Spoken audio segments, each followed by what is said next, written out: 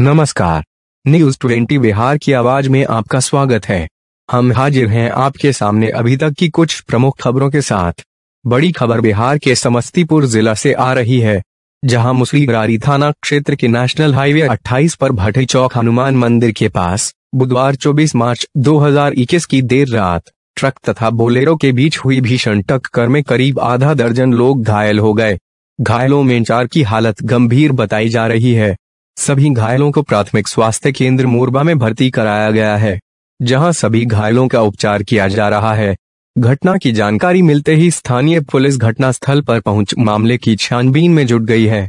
घटना के संबंध में प्राप्त जानकारी के अनुसार, मोरवा प्रखंड अंतर्गत स्थित मुसहरी टोला से सभी घायल युवक एक शादी समारोह में शामिल होने इलमास नगर जा रहे थे कि मुसरी बरारी थाना क्षेत्र के भैठ चौक स्थित हनुमान मंदिर के पास, सामने से तीव्र गति से आ रही ट्रक से उनका बोलेरो टकरा गया, जिसमें सभी लोग घायल हो गए।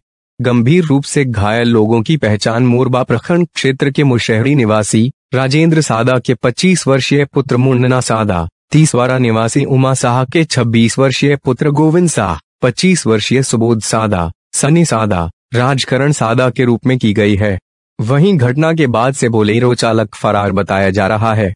अभी तक के लिए बस इतना ही। कुछ देर बाद हम फिर हाजिर होते हैं, कुछ अन्य खबरों के साथ।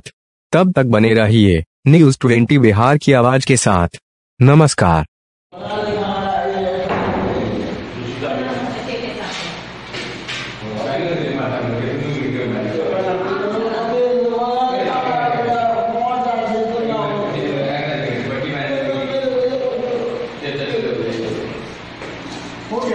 हो गया था मैं थोड़ा